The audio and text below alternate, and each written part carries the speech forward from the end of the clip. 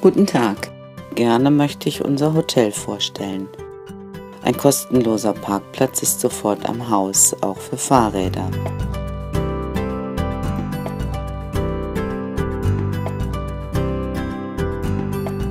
Hier servieren wir ein üppiges Frühstück. Im Winter lodert ein gemütliches Kaminfeuer.